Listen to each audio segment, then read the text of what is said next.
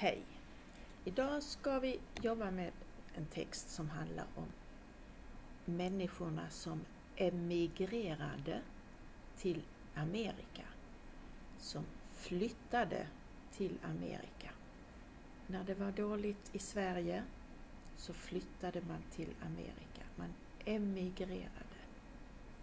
Emigrera betyder flytta ut, bort från ett land.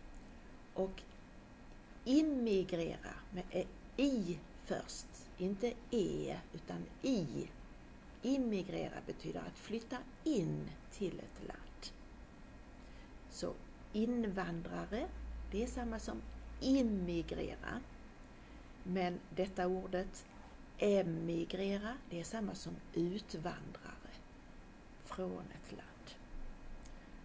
Om man bara säger migrera, då betyder det att flytta till ett annat land. Jag läser först. Jag läser små bitar och sen är jag tyst och då läser du samma. Så vi tränar att läsa. Sen tittar vi på, på grammatiken, hur meningarna är uppbyggda. Det finns fyra olika sådana här likadana små Eh, delar av den här texten. Eh, nej, kanske vi tar två. Vi får se hur det blir, hur lång tid det tar. Nu börjar jag läsa. Så läser du efter. Precis när jag blir tyst läser du samma. Ska du tänka på att betona på rätta, på rätta vokaler och du ska tänka på att ha melodi så du inte bara läser så. Melodi, upp och ner och upp och ner med, med texten, med din röst. Okej. Okay. Mellan åren 1865 och 1914 läser du. 1865 och 1914 emigrerade nästan en miljon svenskar till Amerika.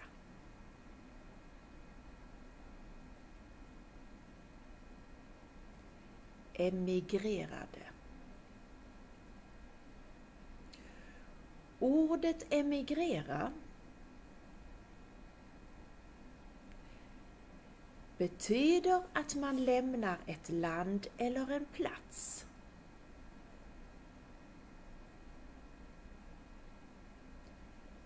För lång tid framåt.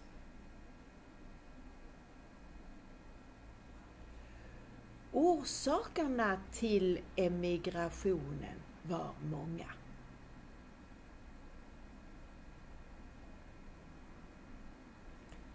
Du kanske säger, när det är R och S, så kanske du säger orsaken, orsaken.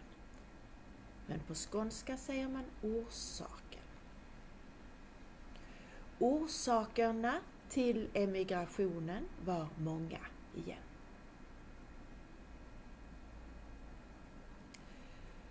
Kortfattat kan man säga, alltså om man ska säga kort, att många emigrerade för att de inte hade mat.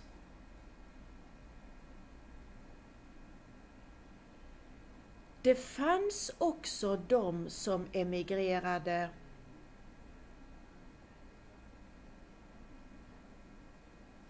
för att få tro vad de ville.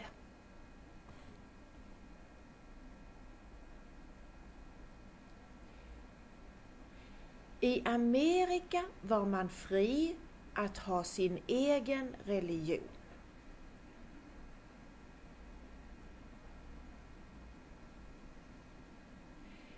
Medan i Sverige skulle alla tillhöra Svenska kyrkan.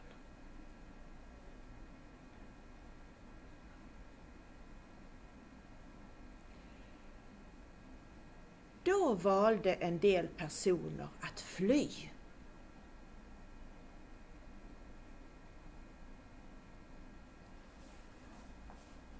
För att få tro på Gud på sitt eget sätt.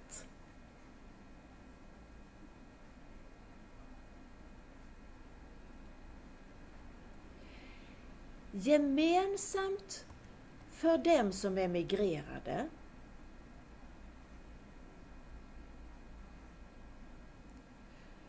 var att de drömde om ett bättre liv.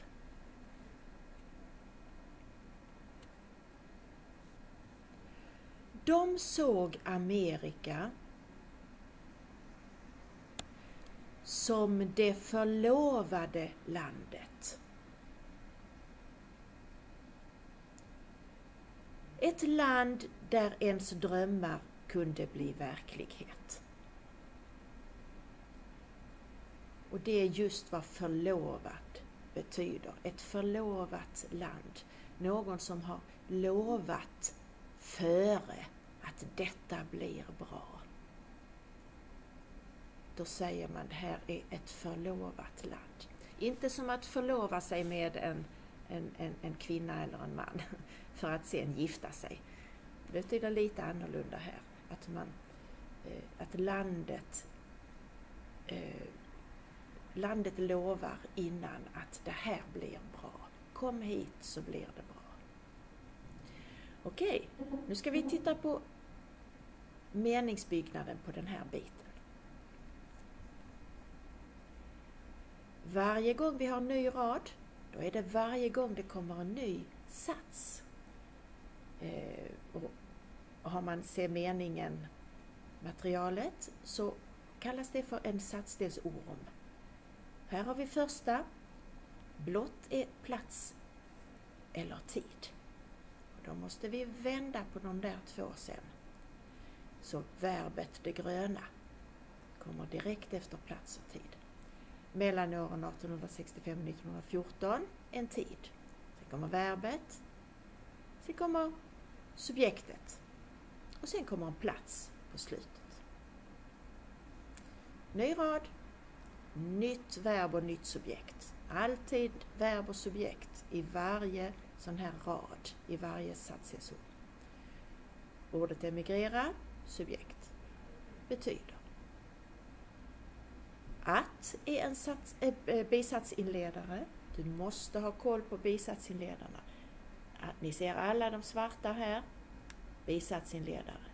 Så fort det kommer en bisatsinledare så måste, om det finns ett satsadverbial, så måste det komma före verbet. Därför måste du alltid veta vilka som är bisatsinledare. För då ska till exempel inte komma före verbet.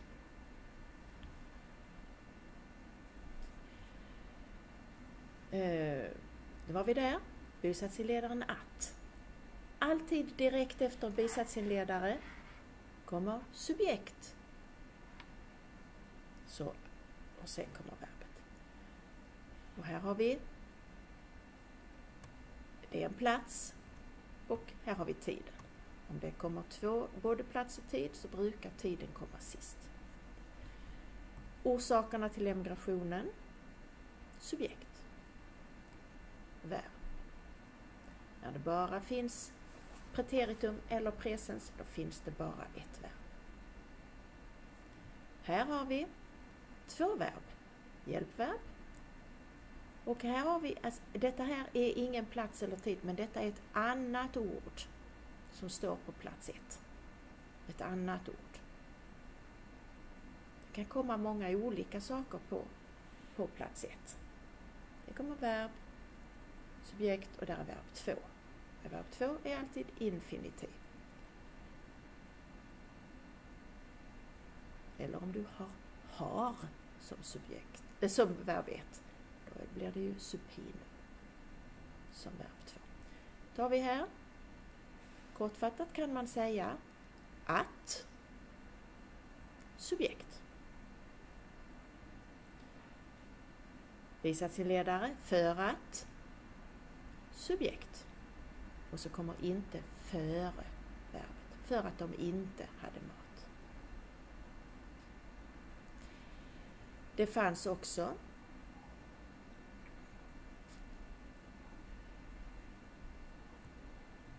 Eh, jag ska nog egentligen vara... Nej, det här blir som är en bisatsinledare. Här är det, kommer de tillsammans.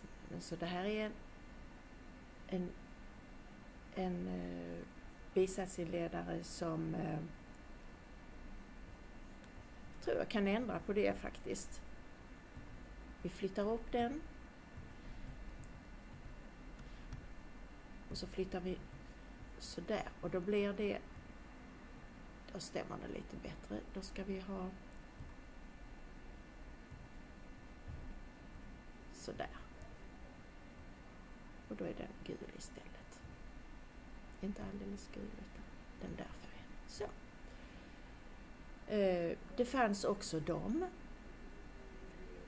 Det, vi måste ha ett subjekt. Så då blir det det. Sen kommer här som. Som är ju ett... Det kan betyda, det kan vara på tre olika sätt. Det finns ett som som inte alls är bisatsinledare. Som bara till exempel, jag jobbar som lärare. Bara en preposition. Men sen finns det två sätt att använda som, som bisatsinledare. Det finns som med ett eget subjekt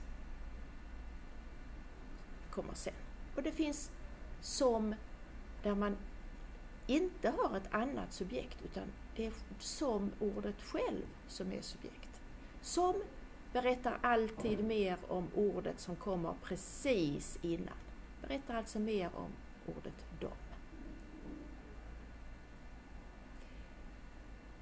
Och då har vi alltså subjektet och verbet. Och sen har vi för att få tro. Och då är det, om detta är för mycket, då ska du bara glömma det. Men det är så att egentligen så är, har vi tagit bort två ord. Vi har tagit, för det kan man göra när det är för att och när det är hjälpverbet ska och hjälpverbet skulle. Då kan man ta bort subjektet och man kan ta bort ska eller skulle. Och då blir det bara kvar för att få tro. Alltså det blir kvar verb två. Eh, så det är rätt att skriva så, men det är också rätt att skriva så. Så man emigrerade för att få tro vad de ville. Här har vi bisatsinledaren som är samma som ett frågeord. Men när du frågar så säger du vad ville de? Men när det är bisatsinledare så måste subjektet komma precis efter vad de ville.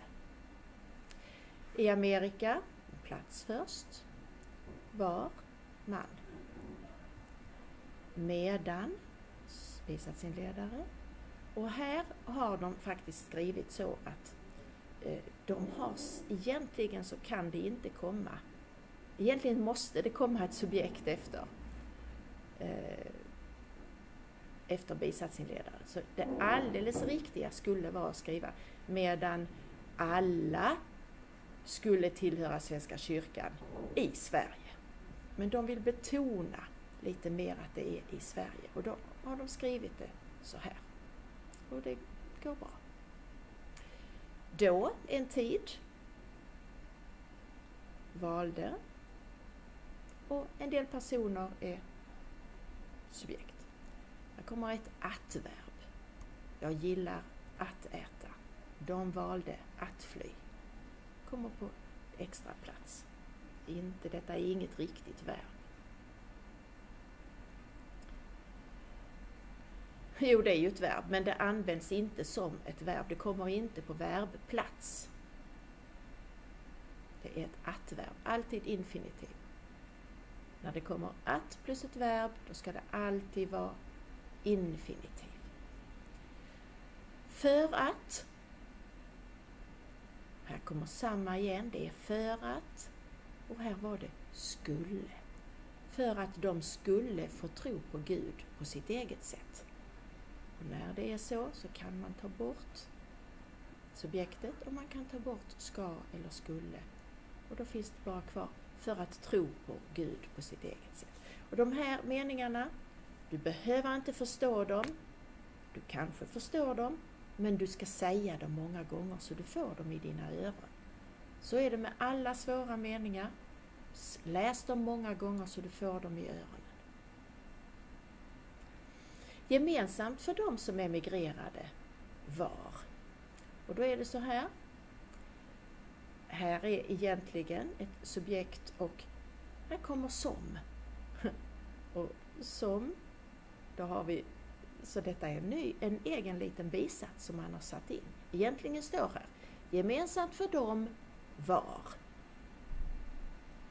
Men så då, man kan alltid ta bort en bisats, då ska det bli samma ändå. Men gemensamt för dem var att de drömde om ett bättre liv. Men vi ville veta lite mer, vilka är de? Och då vill vi berätta mer om det ordet och då så sätter vi som. Och då berättar det alltid mer om det ordet som kommer precis före som. Så det var alltså de som emigrerade. Det var inte de som stannade kvar eller de som bodde i Stockholm eller de som var lärare. Utan det var de som emigrerade. Och sen kommer det riktiga verbet. Var. Att de drömde om ett bättre liv. Direkt efter bisatsinledaren, subjekt. Sen är här en alldeles vanlig mening med subjekt först och sen verb. Och sen kommer en bisats igen. Och den här bisatsinledaren börjar med där. Och då kan ju där också vara en plats. Alltså, där ska du sitta. Eller där bor jag. När man pekar ut en plats. Men det kan också vara en bisatsinledare. Och då kommer det ett subjekt efter. Där ens drömmar kunde bli. Hjälpverb, verb 2. Kunde bli verklighet. Okej, eh, jag tror att vi tar nästa del i nästa film.